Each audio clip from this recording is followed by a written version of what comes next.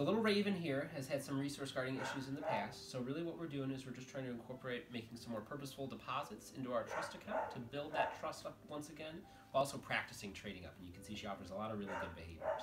So what we're going to do is we're going to cue a simple behavior. Yes. We're going to reinforce it with the offering of the toy. When she comes back, we're just going to trade up. We're going to feed away, take that toy, cue another simple behavior, toss her that toy as a reinforcer, and repeat the process again. And you can see she's already at the point where she's anticipating and she's spitting that toy out right to me. Now, if we wanted to, we could cue this behavior, uh, but for her, I don't really, really think it's necessary. I think she just likes playing the game. Yes. Yes, good girl. Good girl. Nice job.